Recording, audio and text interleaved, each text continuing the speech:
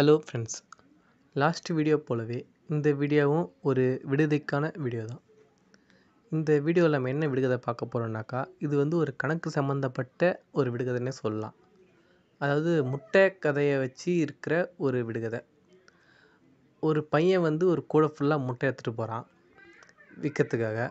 எதிர் எதிர்பாராத விதமாக ஒரு பைக் ஆக்சிடெண்ட் ஆகிட்டு அவனோட கூடையில் இருக்க எல்லா மூட்டையுமே உடஞ்சி போச்சு. அந்த பைக் ஓட்டி வந்த அந்த மனுஷன் என்ன சொல்கிறாருனாக்கா தம்பி தப்பு என் மேலே தான் நான் வந்து முட்டைக்கான மொத்த காசுமே உங்ககிட்ட கொடுத்துட்றேன் ஆனால் எத்தனை முட்டை இருந்துச்சுன்னு எனக்கு கணக்கு நீ சரியாக சொல்லணும் அப்படின்ற மாதிரி அவர் கேட்குறாரு அதுக்கு உடனே அந்த பையன் ஐயா எனக்கு முட்டையில் வந்து எத்தனை இருந்ததுன்னு சொல்லிட்டு எனக்கு தெரியாது. நான் வந்து கூட ஃபுல்லாக முட்டை எடுத்துன்னு வந்தேன். எனக்கு எத்தனை முட்டை இருக்குன்னு சொல்லிட்டு எனக்கு கணக்கு தெரியலை. ஆனால் வந்து நான் ரெண்டு ரெண்டாக அடுக்கி வைக்கும்போது ஒரு முட்டை வந்து தனியாக மீதம் இருக்கும்.